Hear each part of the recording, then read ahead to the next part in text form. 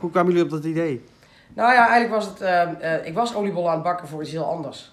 En eh er kwamen allemaal van die reacties op van... eh, goh, kun je niet eh, voor mij ook nog even bakken? En ik kom ze ook wel halen. En, eh, en toen kwam eigenlijk tegelijkertijd het berichtje van Paul binnen dat zijn salon leeggehaald was. En toen hadden we zoiets van, ja, als iedereen er nou gewoon wat geld bij legt, dan is het misschien wel makkelijker. Nou, ze hebben echt eh, ja, al, al mijn spullen meegenomen. Mijn bad, mijn tafels, mijn scharen.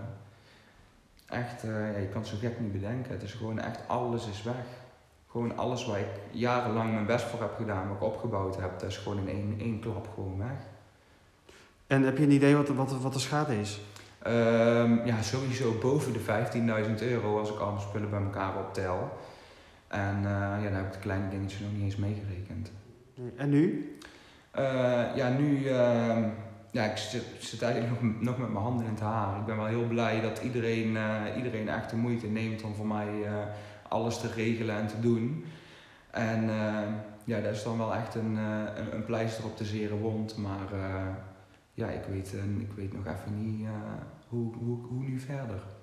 En hoeveel oliebollen zijn er al eh, de deur uit? Nou ja, ik denk dat we er eh, gisteren een 100 of 5 Ja, zoiets. Ik denk dat we er nu in totaal een 1600 16, hebben 1600 eh, gebakken hebben. en we doen er straks nog 320, denk ik. Ja. Zijn jullie het niet beu? Nee, Nee. helemaal niks.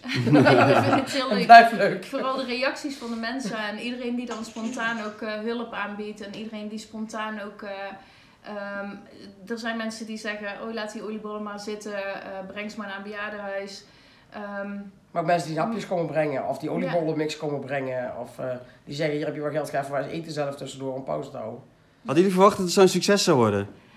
We hadden het gehoopt, uiteraard, maar we hadden Ja, maar niet, dit- dit niet verwacht. Dit hadden we totaal We niet hadden best gedacht dat we er 100 of 5 konden gaan bakken, maar dit eh, was een beetje veel. Maar- Nou, heel veel succes. Dankjewel. Morgen is de oudejaarsavond. Gaan jullie zelf dan aan de oliebollen? Ja, absoluut. Uiteraard.